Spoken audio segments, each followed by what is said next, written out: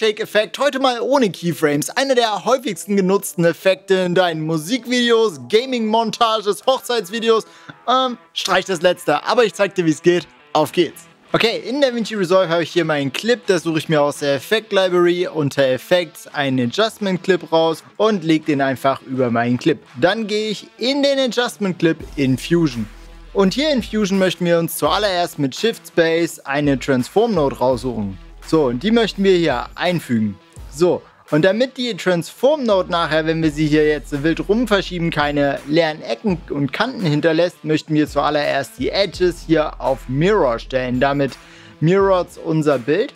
Okay, und jetzt möchten wir hier bei Center mit Rechtsklick draufklicken, Modify With und dann Perturb auswählen. Und was der Perturb Modifier macht, der sagt, nimm das Standard Value, also 0,5 und 0,5 und bewege es random hin und her. Und das sieht noch gar nicht wie ein Shake aus. Deswegen ist die erste Amtshandlung hier, die Speed auf 15 zu stellen. Und damit haben wir schon mal etwas, was crazy hin und her geht. Und da müssen wir jetzt auf jeden Fall die Strength weiter runternehmen. Aber wir wollen ja, dass es am Anfang stark ausschlägt und zum Ende hin abflacht, damit wir wieder ganz normal unser Video haben. Und das machen wir mit dem NM Curves Modifier.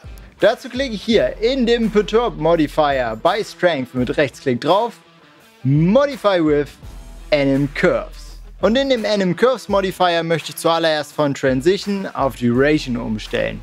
Und jetzt möchten wir folgendes machen. Wir möchten die Scale auf den Wert setzen, den wir haben wollen, zum Beispiel 0.3. Und wir möchten hier auf Invert klicken. Damit sagt es sich, geh von 0.3 auf 0 runter. Und das Coole ist, wir können das jetzt auch noch easen. Also wenn wir jetzt hier noch ein Easing eingeben, sowas wie Quad und am Ende auch nochmal ein Quad Easing, wird es am Anfang noch sta länger stark sein und am Ende sich langsam auspegeln. Okay, bis jetzt zittert es nur doof, aber wir brauchen noch Blur. Und das können wir ganz einfach bewerkstelligen, indem wir hier wieder zurück auf Tools gehen, also in unsere Transform Node und unter Settings Motion Blur aktivieren.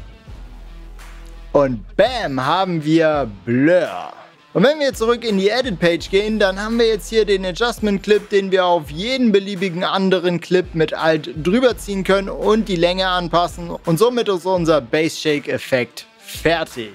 Und das Coole ist, ich habe dir sogar ein kleines Preset-Pack gemacht mit diesem Bass Shake und mit vielen anderen Presets, Flickereffekten, all das, was du im Intro gesehen hast, kannst du dir for free unten in der Beschreibung downloaden. Viel Spaß damit, Kameramagier, und keep shaking!